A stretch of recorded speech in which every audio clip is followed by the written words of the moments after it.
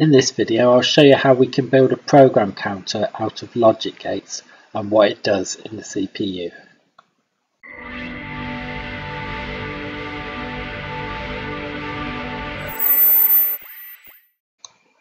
So in the last video we looked at how a machine code program executes in the CPU. The machine code program is stored in memory and it has to be fetched from memory and the program counter points to the next instruction in memory that the machine code program will run. So a program counter should be able to count up in binary. As well as that, we may want the program to jump to a particular location or run round in a loop. So the program counter needs a function to be able to load a value into it. This is a simple latch circuit. Every time I press this push button switch, the LED will toggle on and off. The way this works is we have two latch circuits, one here consisting of two NOR gates and one here. We have AND gates which will only let current through to the first latch if the button is pressed because the button is connected directly to the two AND gates. The second latch will only be able to get current through to it if the button is not pressed because we have the button connected via a NOT gate into these two AND circuits. And then we have a crossover here, which will mean that the current will only get through the first AND gates if it's the opposite latch value to the one that we currently have. So when we press the button, the LED changes state. You can see when we press the button down, the first latch switches, and when we let the button go, the second latch switches, and if the LED is off when we press the button it will be on when we press it and release it. And if it is on it will be off. So it's a simple toggle circuit. Each time we press the button we switch the LED on or off.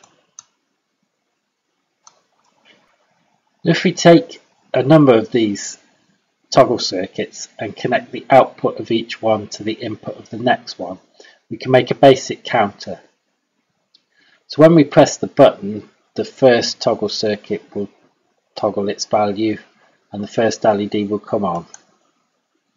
But then when that LED goes off, it's the equivalent of letting go of the button for the second circuit.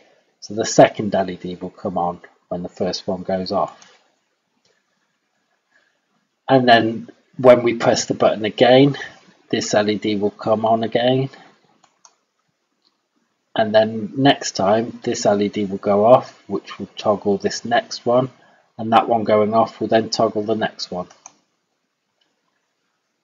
Then we can keep going like this but what we can notice is if we take the binary value and we say that this first toggle circuit is the least significant bit the next toggle circuit represents the next least significant bit the twos column and the next one represents the fours column.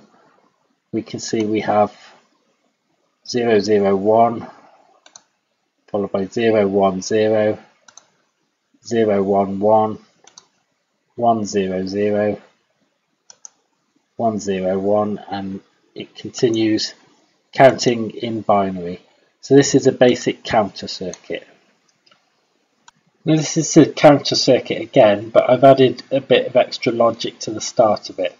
This time I've got a clock circuit which is automatically sending clock pulses to the circuit and it's toggling the LED on and off.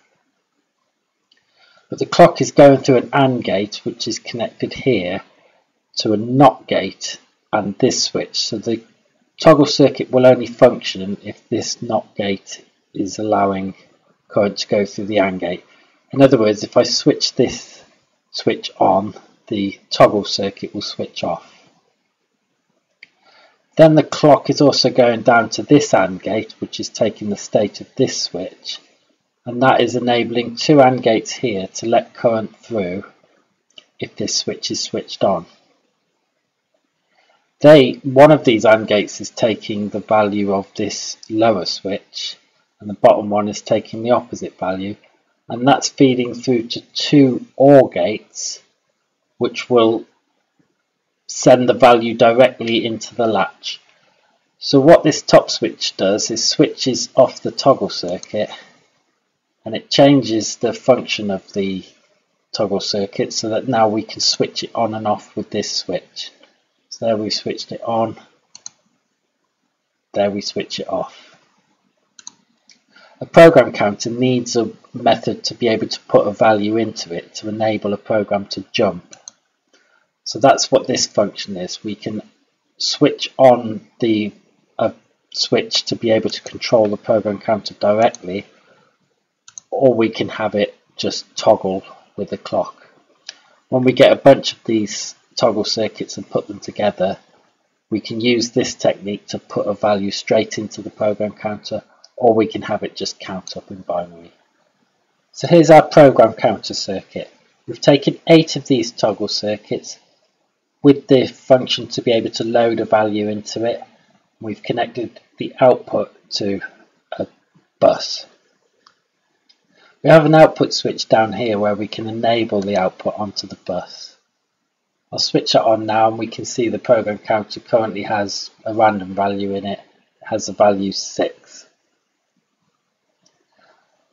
Here we have the enable switch which will switch the clock pulses on. If we switch that on, the program counter on each clock pulse will count up by one value. So it's now on 9, 10, 11 and it will count up when that switch is on.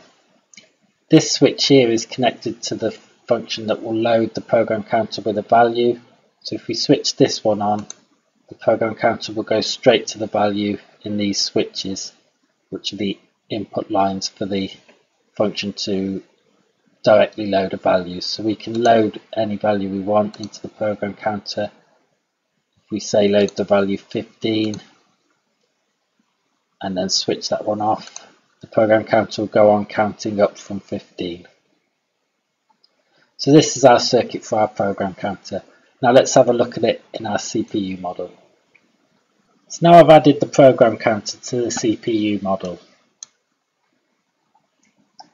In the control word we've got a program counter enable switch and as we can see that is now switched on and the program counter is counting up in binary. If I switch off the enable switch, the program counter will stop counting up.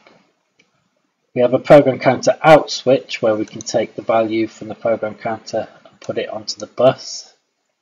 There we've got the value 8, 9, 10 on the bus. And we have a program counter jump switch as well.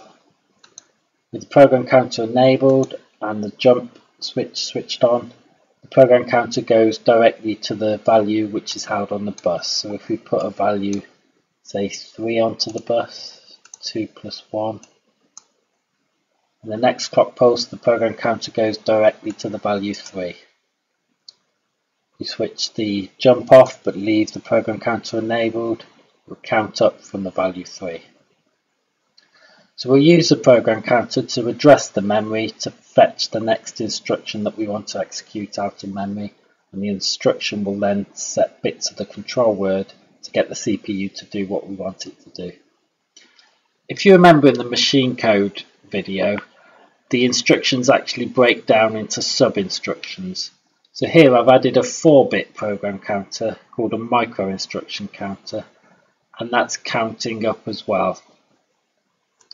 For the micro instruction counter, we have a reset switch. We don't have an enable switch, we'll have it counting all the time.